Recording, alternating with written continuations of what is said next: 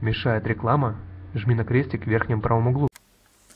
Понимаешь, пятнадцатый год я занимаюсь сетевым бизнесом. Пятнадцатый год. За это время я видел много разных вещей. И за это время, конечно же, я кое в чем разобрался. Как работает этот бизнес, какие есть там сложности, какие подводные камни, скрытые опасности существуют. И, конечно же, я познал и все прелести этого бизнеса. Я далек от мысли, что я все знаю, но кое-что я узнал. И вот я хочу поделиться сейчас с тобой этим опытом. Ты вот новичок у нас, совсем только недавно начал, начала. Послушай меня.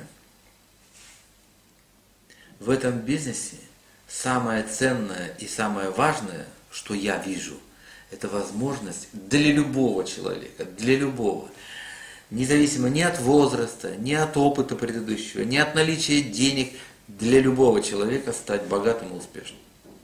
Любой может. Вот это самое важное. В этом вся суть, вся, вся, вся фишка в этом. Я недавно был в Доминиканской республике. И общался там с ребятами, которые, с русскими, которые там живут и делают бизнес. Крутятся, вертятся на испанском, на английском, на русском, на украинском языках. В офисе вот такая вот кутерьмя. И вот я смотрю за ними, думаю, до чего же русские люди энергичные. Они попадают в другую среду и пытаются там настроиться. Они понятия не имеют о том, что есть сетевой маркетинг. Они понятия не имеют, что можно жить так, как я. Они видят, что у меня есть деньги, но они не знают, кто я такой и чем я занимаюсь. И вот я в течение двух часов сидел у них, сидел у них в офисе и наблюдал за тем, что происходит. Ну, мы общались, я наблюдал. И вот за два часа я понял удивительную вещь. Послушай, они занимаются всякими разными вещами и авиационными билетами, и туризмом, и строительством. Все, что попадает в руки, все, что дает прибыль в этой стране, и не только в Доминикане, они все используют. И вот, наконец, они надыбали тему. Они провели исследование о том, что в Доминиканской республике, в торговой сети, недостаточно свежих овощей. Парадоксально, но это именно так. Урожай не менее трех, трех раз в году, как минимум.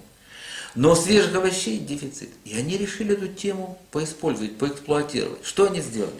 Они нашли, есть такое место, оказывается, в Доминикане, Констанца называется, там плодородная почва. Гумуса много. В горах.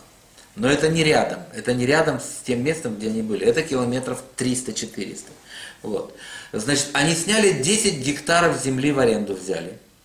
Лучшие плодородные, за хорошие деньги. Они пригласили из Украины, из-под Киева, какого-то талантливого агронома, у которого есть степени научные и так далее, по знакомству. Он приехал, осмотрел землю, определил климатические э, условия там и так далее, и дал рекомендации, что сажать. 12 видов овощей. Они заказали за 6 тысяч долларов 20-килограммовый ящик с пакетиками разных культур. Кабачки, помидоры, редиска, огурцы, перец, эм, баклажаны и так далее, и так далее. 12 культур. И они со всей дурацкой мочи наняли людей, вложили деньги и посеяли эти культуры. Все поперло. Редиска на подходе, первое. И вдруг выяснилось у этих ребят, у опытных, что оказывается надо эти потом собирать. Надо нанять рабочих, которые будут это все собирать. Научить их организовать, собрать, помыть, привести в божеский вид, приемлемый. И самое важное, с чем они столкнулись, куда-то положить. Оказывается, нужны ящики. Оказывается, опыт изучения в интернете, то есть все, звонки показал, что надо пластиковые ящики. Латинская Америка, США, Канада, э, Европа, Китай стали изучать, где взять быстро эти ящики по приемлемой цене и быстро. Оказалось, что в Украине только можно.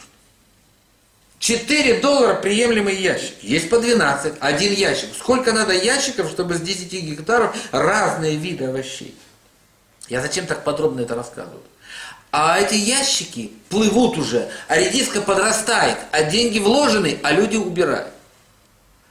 А потом возник вопрос. а развозить по стране в, торгов, в торговую сеть, по санаториям, по офисам, по этим самым, по отелям, по, по, по супермаркетам. А нигде никто предоплату не делает подавощи, только на реализацию. А собирать деньги, а транспорт, а сколько нужно грузовых авто? Вы пред...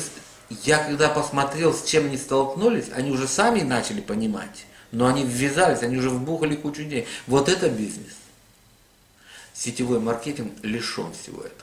Если ты дистрибьютор, партнер какой-то толковой компании, мы еще потом поговорим о том, как выбрать компанию, по каким критериям определить, что есть э, самое важное. Если ты партнер, у тебя вообще голова не болит. Допустим, компания продает сок. Пусть директора думают, где взять этот сок. Пусть они поедут в Таиланд или в какую-нибудь другую страну в экзотическую, пусть они сделают там договор, пусть они определяют качество этого сока, какой нужен, пусть они поговорят со специалистами, пусть они закажут бутылку, пусть они сделают наклейку, пусть они сертифицируют этот продукт, пусть они транспортом доставят этот продукт в страну, складируют, пусть они снимут в аренду зал, пусть они растаможат этот продукт, пусть они его доставят. Вот где головная боль, вот это бизнес. А у тебя голова не болит, тебе нужно просто заработать денег, продавая этот сок. Ты должен его пить и продавать. Ты должен получить свой результат, не нервничая, не думая ни о чем, и продавать. Вот она вся прелесть в чем. Ты можешь за 200, за 300, за 50, за 70, за 100, не более долларов начать бизнес, который сделает тебя миллионером. В Америке среди огромного количества миллиона миллионеров 20%, более 20% людей, являющихся миллионерами, сделали бизнес в сетевом маркетинге. Но тут есть и подводные камни серьезные. Мы о них будем говорить. Сейчас я хочу вот это первое свое сообщение, посвященное сетевому бизнесу, посвятить самому важному. У меня очень мало времени, поэтому слушай внимательно. Слушай внимательно. Сетевой маркетинг, когда человек в него вступает, он может огромное количество людей как катапультой выбросить обратно. И если ты попадешь в эту катапульту и тебя выбросит из сетевого бизнеса на начальном этапе, это трагедия. Огромное количество людей, не получив результата, выпадают, и это трагедия. Самое важное, нужно понять, нужно продержаться год. Нужно не сдаваться ни при каких обстоятельствах. Не сдавайся. Вот главный принцип. Не сдавайся. Ты помни, что если у тебя что-то не получается, ты всегда можешь попробовать что-то другое. Если у тебя не получается с этим, с таким подходом ты всегда можешь попробовать что-нибудь другое. Помни, ты всегда можешь попробовать что-нибудь другое, только не сдавайся. Не сдавайся, и ты можешь стать богатым, успешным и свободным, миллионером.